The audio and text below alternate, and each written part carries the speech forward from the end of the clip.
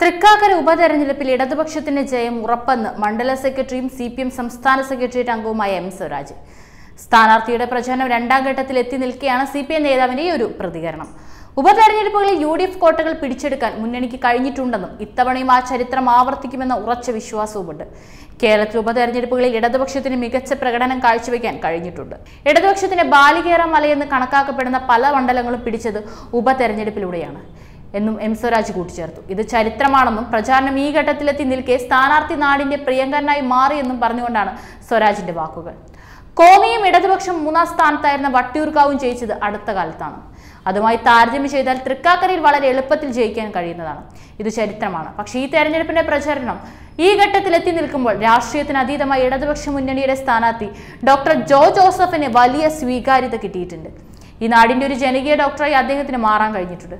അതുകൊണ്ട് തീർച്ചയായും ഇടതുപക്ഷത്തെ തൊണ്ണൂറ്റി ഒൻപതും ഈ തെരഞ്ഞെടുപ്പ് കഴിയുമ്പോൾ നൂറായി മാറും.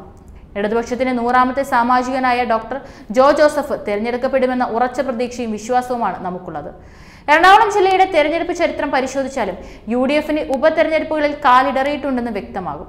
രണ്ടായിരത്തി എട്ടിലെ മണ്ഡല പുനർനിർണയത്തോടെ തൃക്കാക്കര നിയമസഭാ മണ്ഡലം നിലവിൽ വന്നത്. എറണാകുളം നിയോജക മണ്ഡലത്തിന്റെയും തൃപ്പൂണിത്തര മണ്ഡലത്തിന്റെയും ഭാഗമായിരുന്ന പ്രദേശങ്ങൾ കൂട്ടിച്ചേർത്താണ് മണ്ഡലം രൂപീകരിക്കുന്നത്. എന്നാൽ ഇന്നത്തെ തൃക്കാക്കരയുടെ ഒരു ഭാഗം ഉൾപ്പെടുന്ന പഴയ എറണാകുളം മണ്ഡലത്തിൽ കോൺഗ്രസിനെ വീഴ്ത്തി ഇടതുപക്ഷം ജയിച്ചിരുന്നു. അതും ഒരു ഉപതെരഞ്ഞെടുപ്പിലായിരുന്നു. ആയിരത്തി തൊള്ളായിരത്തി എഴുപത് മുതൽ എൺപത്തിരണ്ട് വരെ എറണാകുളത്ത് തുടർച്ചയായി വിജയിച്ച മുൻ മന്ത്രി കൂടിയായ കോൺഗ്രസ് നേതാവ് എൽ ജേക്കബ് ആയിരത്തി തൊള്ളായിരത്തി എൺപത്തി ഏഴിൽ സിറ്റിംഗ് സീറ്റിൽ പരാജയപ്പെട്ടിരുന്നു. എൽ ഡി എഫ് സ്വതന്ത്രനായി എത്തിയ എം കെ സാലുവായിരുന്നു ജേക്കബിനെ വീഴ്ത്തി കോൺഗ്രസിനെ ഞെട്ടിച്ചത്.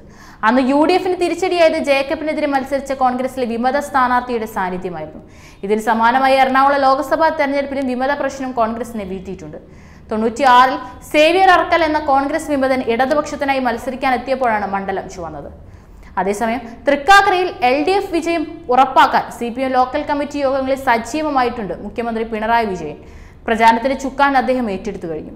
പ്രവർത്തകരെ സജീവമാക്കാനും യു ഡി എഫിൽ നിന്ന് നേതാക്കളെയും വോട്ടുകളും മറിക്കാനുള്ള നീക്കങ്ങളെല്ലാം തന്നെ ആരംഭിച്ചു കഴിഞ്ഞു. കഴിഞ്ഞ ദിവസം പത്ത് ലോക്കൽ കമ്മിറ്റി യോഗങ്ങളാണ് പിണറായി പങ്കെടുത്തത്.